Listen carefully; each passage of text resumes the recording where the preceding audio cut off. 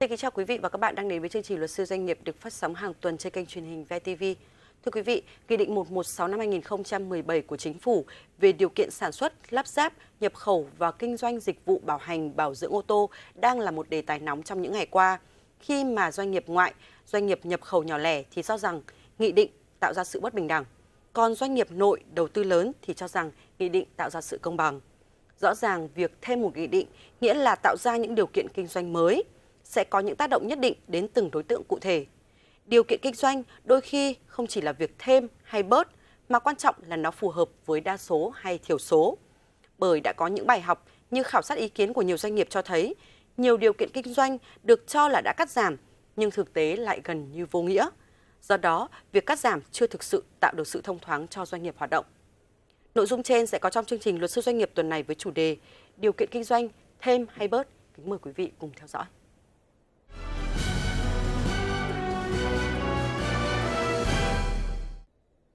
Thưa quý vị, được bàn thảo và lấy ý kiến từ khá lâu, Tuy nhiên, khi Nghị định 116 năm 2017 của Chính phủ quy định về điều kiện sản xuất, lắp ráp, nhập khẩu và kinh doanh dịch vụ bảo hành, bảo dưỡng ô tô hay gọi tắt là Nghị định 116 được ban hành thì lập tức khiến cho doanh nghiệp bàng hoàng. Nhiều quy định mới chặt chẽ hơn dự đoán sẽ khiến tác động mạnh đến sản xuất kinh doanh ô tô trong thời gian tới. Số doanh nghiệp đáp ứng được quy định sẽ còn rất ít. Quyền lợi của người tiêu dùng một mặt được nâng lên nhưng mặt khác cũng bị ảnh hưởng. Rõ ràng, việc thêm một nghị định nghĩa là tạo ra những điều kiện kinh doanh mới sẽ có tác động nhất định đến từng đối tượng cụ thể. Kính mời quý vị theo dõi phóng sự sau.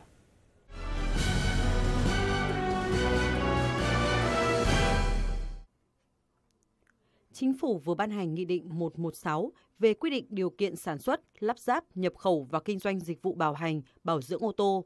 Đây là nghị định hậu thông tư 20 đã hết hiệu lực vào tháng 7 năm 2016. Theo nhiều chuyên gia, thì nghị định đã thể hiện rõ ý muốn siết chặt thị trường ô tô nhập khẩu, không còn đường lách cho các doanh nghiệp nhập khẩu ô tô tư nhân. Quy định có cơ sở bảo hành, bảo dưỡng nếu doanh nghiệp nhập khẩu ô tô tư nhân không có khả năng xây dựng, hoàn toàn có thể đi thuê. Nhưng với văn bản xác nhận hoặc tài liệu chứng minh được quyền thay mặt doanh nghiệp sản xuất, lắp ráp ô tô nước ngoài thực hiện lệnh triệu hồi là bất khả thi vì từ trước đến nay những giấy tờ này chỉ được cấp cho các nhà nhập khẩu chính hãng. Quy định này xem như đóng sập cửa với các doanh nghiệp nhập khẩu ô tô không chính hãng. Thậm chí, ngay cả với những doanh nghiệp nhập khẩu ô tô chính hãng thì không phải doanh nghiệp nào cũng có được văn bản này. Nghị định 116 cũng được xem là hàng rào kỹ thuật để giảm lượng xe nhập khẩu. Bên cạnh đó, nghị định này cũng gây khó khăn cho các nhà nhập khẩu ô tô chính hãng giấy chứng nhận chất lượng kiểu loại ô tô nhập khẩu được cấp bởi cơ quan, tổ chức có thẩm quyền ở nước ngoài rất khó. Ngay cả Cục Đăng kiểm Việt Nam chỉ có thể cấp cho xe nội địa, chứ không cấp cho xe bán ra nước ngoài. Nhiều quốc gia trên thế giới không làm, trong khi Việt Nam lại đặt điều kiện quá cao. Việc các doanh nghiệp nhập khẩu ô tô tư nhân đóng cửa còn dấy lên mối lo ngại về độc quyền, đánh mất đi tính cạnh tranh trong ngành kinh doanh ô tô. Tuy nhiên, hướng khách hàng đến các đại lý chính hãng lại là cách mà nhiều nước phát triển đang đi.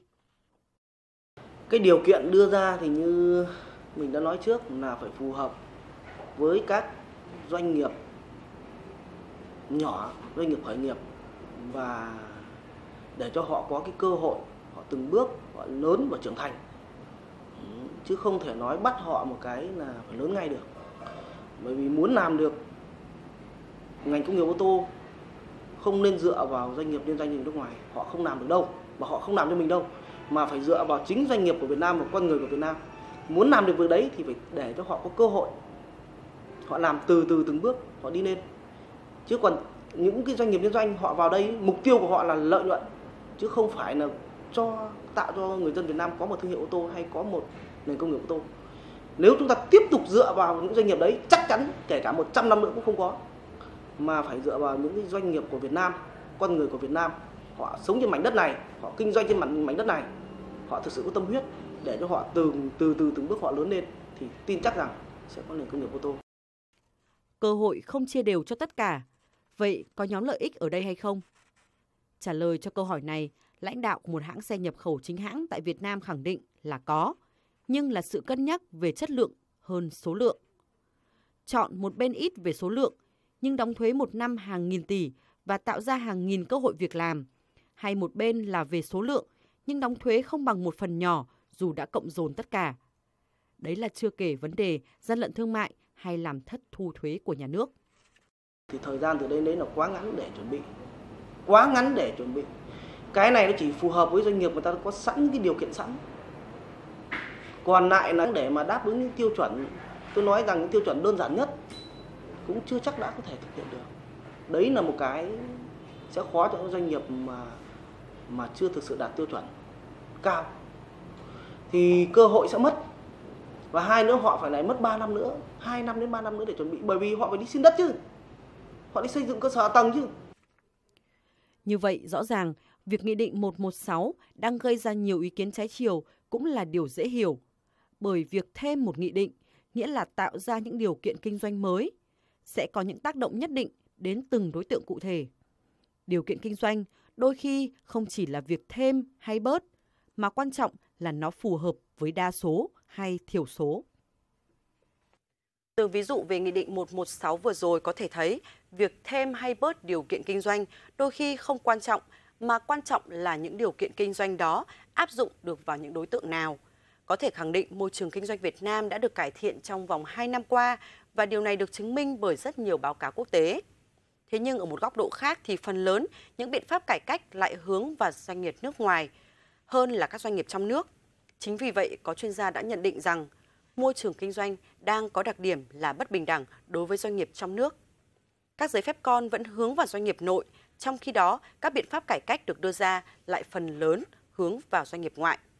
Do đó, đã có ý kiến cho rằng những động thái vừa qua của chính phủ và các bộ ban ngành trong việc cắt giảm thủ tục hành chính cũng như các điều kiện kinh doanh là chưa được như kỳ vọng và thậm chí đã có ý kiến còn cho rằng cắt mà như chưa cắt.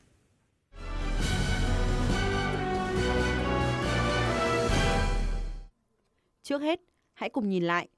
Ngày 12 tháng 12 năm 2016, luật sửa đổi bổ sung điều 6 và phụ lục 4 về danh mục ngành nghề đầu tư kinh doanh có điều kiện của luật đầu tư năm 2014 chính thức được Văn phòng Chủ tịch nước công bố theo lệnh của Chủ tịch nước.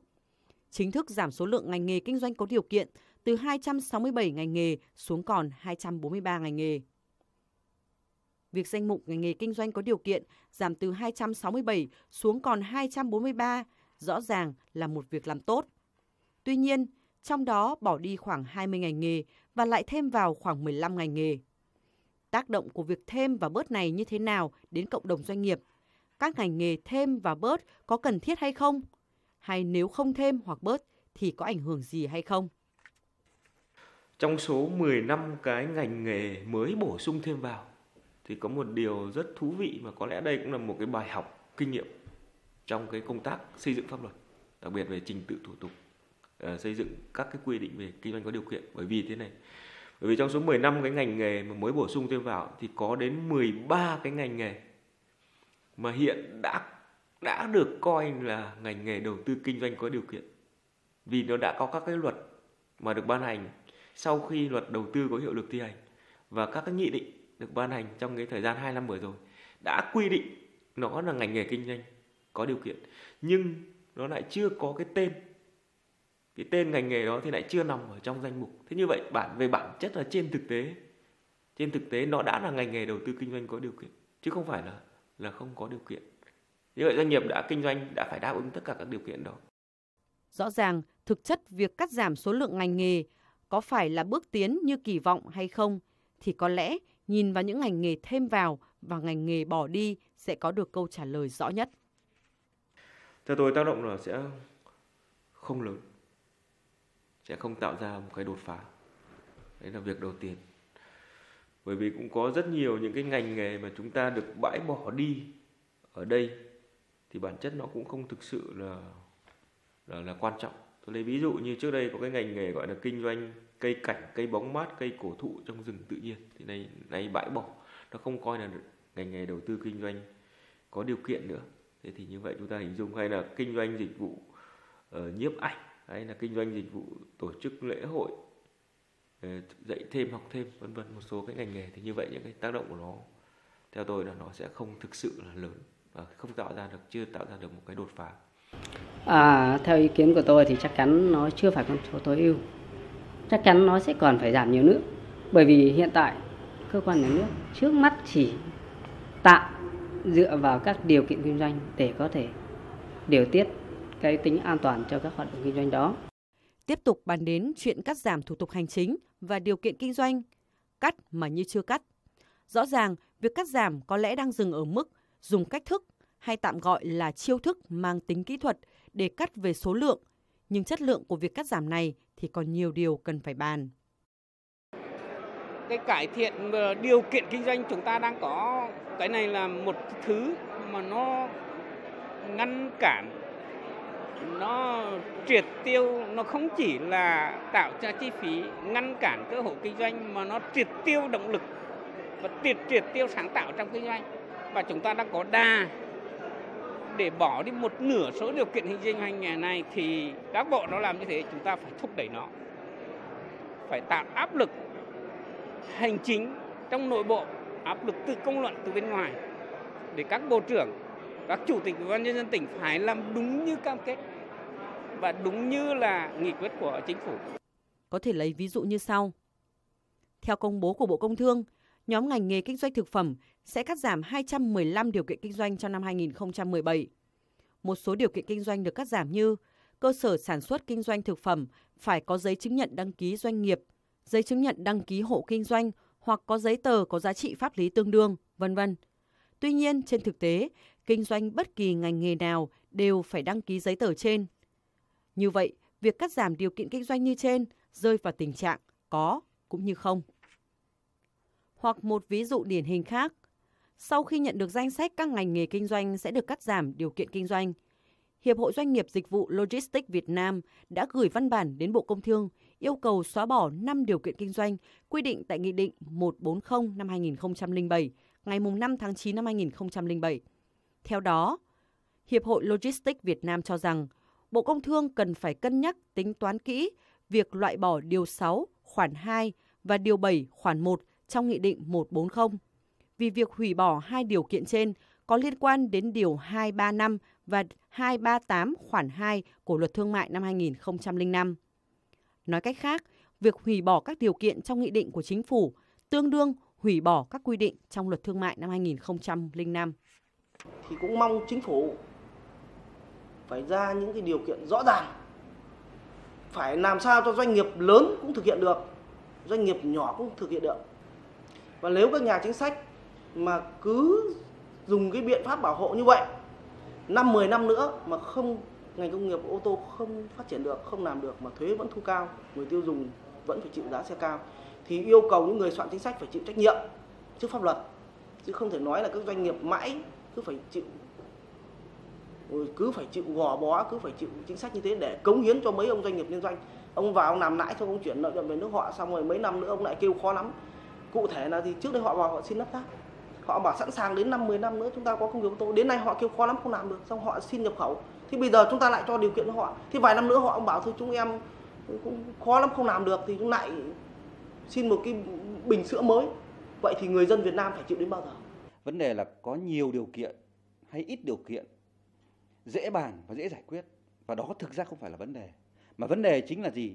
Dù có ít điều kiện chăng nữa, nhưng mà các cái cơ quan nhà nước, các cái cán bộ thừa hành trong cơ quan nhà nước, cơ quan quản lý nhà nước khi giám sát, khi cấp cái, các cái đăng ký kinh doanh thế rồi thì khi thanh tra khi kiểm soát ấy, gây nhũng nhiễu gây phiền hà không cần thiết.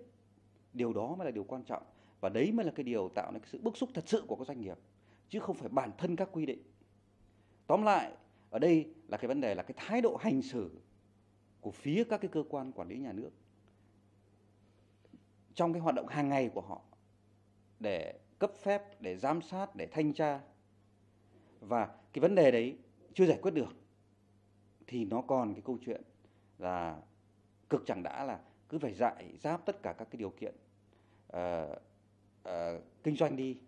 Thì cái giải giáp cái điều kiện đó thì thực ra nó dẫn đến những hệ quả khác.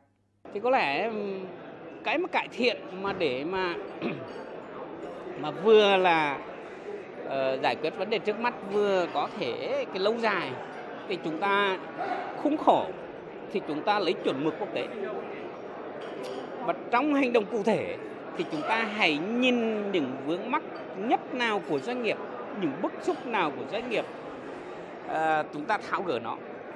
Chúng ta thấy rằng là chúng ta đưa ra một quy định thì rất là dễ dàng, nhưng mà để bãi bỏ một cái quy định thì thực sự là một cái quá trình rất là khó khăn và chúng ta cần phải có sự thay đổi trong cái cách ừ, quản lý cái cơ quan mà soạn thảo văn bản cần phải có ý thức về trong cái việc cầu thị hơn, à, lắng nghe hơn những cái ý kiến từ cộng đồng doanh nghiệp. Bởi vì chúng ta cũng phải khẳng định một điều, chúng ta không thể chạy theo thành tích để đơn giản là để lấy cái thành tích chính trị để nói là tháo gỡ khó khăn cho doanh nghiệp bằng mọi giá.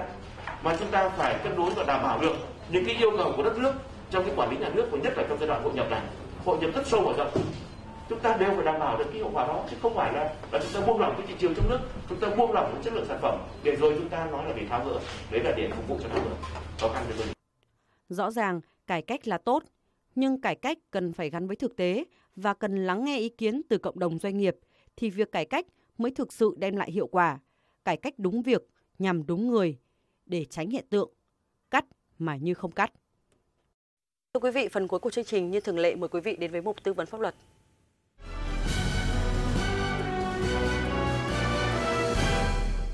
Thưa quý vị, tham gia mục tư vấn pháp luật ngày hôm nay có luật sư Lê Thị Thu Hằng, công ty luật Quốc Minh, đoàn luật sư thành phố Hà Nội.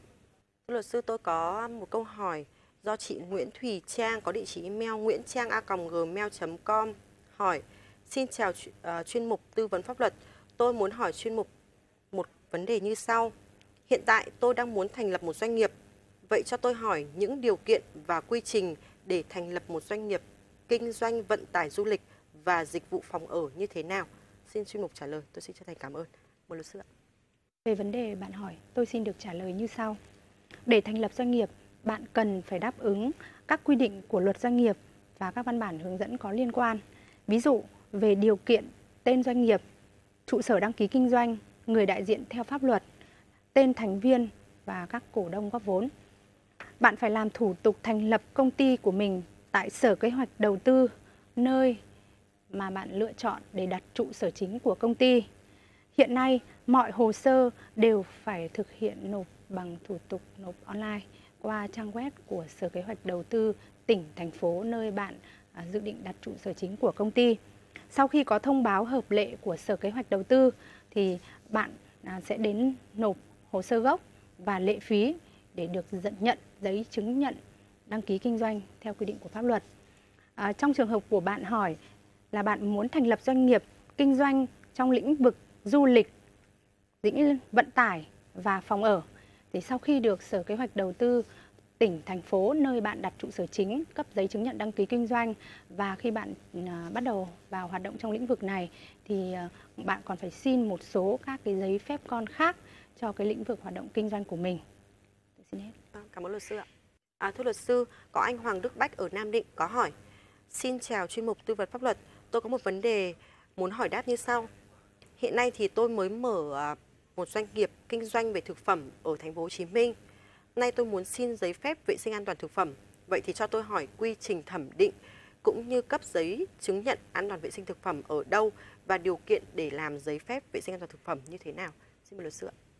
Về vấn đề bạn hỏi, tôi xin được trả lời như sau. Để được cấp giấy chứng nhận vệ sinh an toàn thực phẩm, bạn hãy liên hệ với Sở Công Thương của thành phố Hồ Chí Minh nơi doanh nghiệp của bạn hoạt động, sản xuất, kinh doanh về lĩnh vực thực phẩm để được à, hướng dẫn về thủ tục cũng như các điều kiện về à, cấp giấy chứng nhận vệ sinh an toàn thực phẩm. Về quy trình cấp giấy chứng nhận cơ sở đủ điều kiện an toàn thực phẩm thì được quy định tại điều 36 của Luật An toàn thực phẩm. Quy định như sau: Hồ sơ xin cấp giấy chứng nhận đủ điều kiện an toàn thực phẩm bao gồm đơn đề nghị cấp giấy chứng nhận cơ sở đủ điều kiện an toàn thực phẩm theo mẫu, bản sao giấy chứng nhận đăng ký kinh doanh, bản thuyết minh về cơ sở vật chất trang thiết bị, dụng cụ đảm bảo vệ sinh an toàn thực phẩm theo quy định của cơ quan quản lý nhà nước có thẩm quyền. Giấy xác nhận đủ sức khỏe của chủ cơ sở, người sản xuất trực tiếp kinh doanh được tập huấn về các kiến thức vệ sinh an toàn thực phẩm. Trong thời hạn 15 ngày kể từ ngày nhận đủ hồ sơ hợp lệ nêu trên, cơ quan nhà nước có thẩm quyền sẽ kiểm tra thực tế điều kiện đảm bảo vệ sinh an toàn thực phẩm tại cơ sở của bạn và sẽ, nếu đủ điều kiện thì sẽ cấp giấy chứng nhận an toàn vệ sinh thực phẩm. Trường hợp bị từ chối thì cơ quan nhà nước có thẩm quyền sẽ trả lời bạn bằng văn bản và nêu rõ lý do. Giấy chứng nhận đủ điều kiện vệ sinh an toàn thực phẩm có hiệu lực trong thời hạn 3 năm. Trước 6 tháng, tính đến ngày giấy chứng nhận cơ sở đủ điều kiện an toàn thực phẩm hết hạn thì doanh nghiệp của bạn cần phải làm thủ tục nộp hồ sơ xin cấp lại giấy chứng nhận à, vệ sinh an toàn thực phẩm à, trong trường hợp nếu như bạn tiếp tục sản xuất kinh doanh. Vâng, cảm ơn luật sư ạ. Mục tư vấn pháp luật đã khép lại chương trình luật sư doanh nghiệp tuần này của chúng tôi. Cảm ơn quý vị đã dành thời gian theo dõi chương trình. Quý vị có thể xem trực tuyến hoặc xem lại chương trình tại website www.vitv.vn hoặc cập nhật qua Facebook của kênh truyền hình Kinh tế Tài chính VTV. Còn bây giờ xin kính chào và hẹn gặp lại.